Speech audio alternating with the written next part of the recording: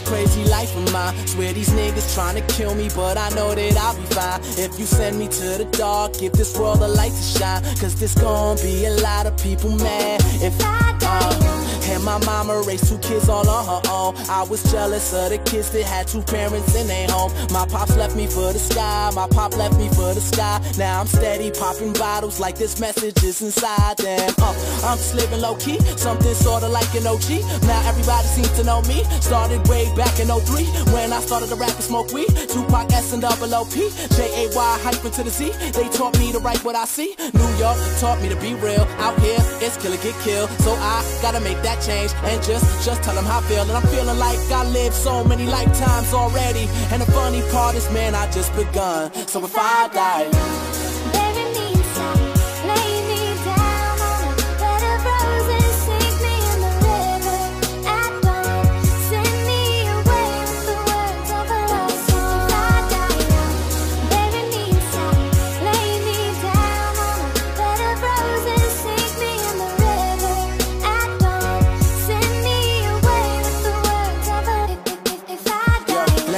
Get a chance to say the things I never say. Cause where I'm from, we lose somebody every single day. And the mothers see the funerals, the sons before their sons turn 21. I swear I wonder